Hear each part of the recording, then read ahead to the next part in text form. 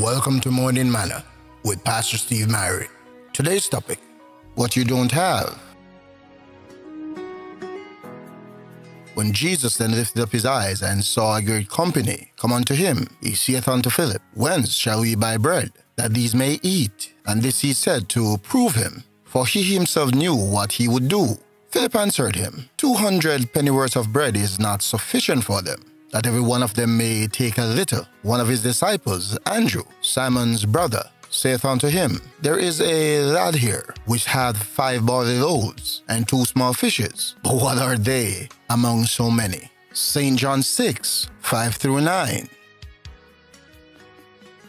This is a very well known story. 5,000 men had come to hear Jesus speak. Well, we all know the end of that story. Jesus told everyone to sit down in rows. Then he blessed the food and break the bread, and everyone was invited to take as much as they wanted. But have you ever wondered if anybody else there that day had any food? We know that the little boy had five loaves and two fishes, but surely someone else must have had something as well. What about the disciples? Did any of them have any food with them? If they did, why didn't they offer when the need arose? Well, it's easy to conclude it is because they weren't looking at what they had. They were focused on what they did not have. Many times in the scriptures, people were told to use what they had. In 2 Kings chapter 4, there was a widow of a prophet whose sons were going to be taken into slavery. So she went to the prophet Elisha to ask for help. This is what he said What shall I do for you? Tell me, what do you have in your house? And she said, Your maidservant has nothing in the house but a jar of oil. Elisha said, What do you want me to do? You already have all you need.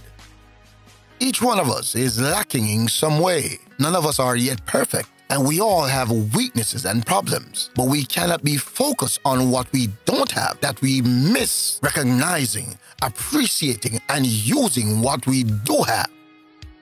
There's some weaknesses we cannot change. In my mind, I am a awesome singer. I sing so well, but in reality, I'm trapped in this body with vocals that don't bring the tune exactly how I hear them in my mind. In other words, I can't sing. All of us have different abilities, gifts, and strengths. In the same way, there are areas that we are not good at. You may not be a good singer, as I'm not either, but you may be good with figures and do administration. There are other people who are not so good with figures.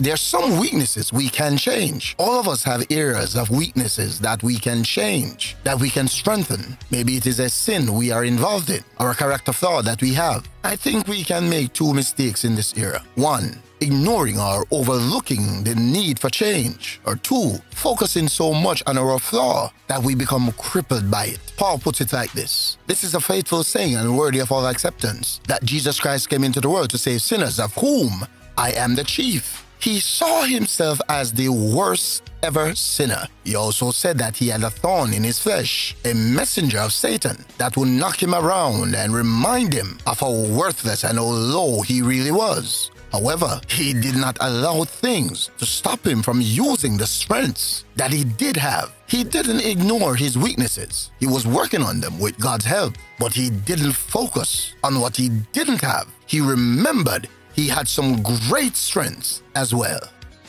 If you have a weakness you cannot change, recognize that you are what you are because God made you and He had chosen the abilities you have. You're not less valuable in His sight because there's some things that you're not good at. On the contrary, you're needed exactly the way you are to complete the body of Christ that the church is supposed to be. There's most definitely a lot of things that we're not able to do, but there are lots of things that we can. Because you have the God given ability and the character to do them, just like the prophet said to the widow, What have you got? Use that. The thought of the day I might not have the same abilities and gifts as somebody else, but I've been given enough to help build a kingdom. God bless you today, in Jesus' name. Please remember to like and subscribe to my page on YouTube. Your support is much appreciated. miracle promise keeper, light in the darkness.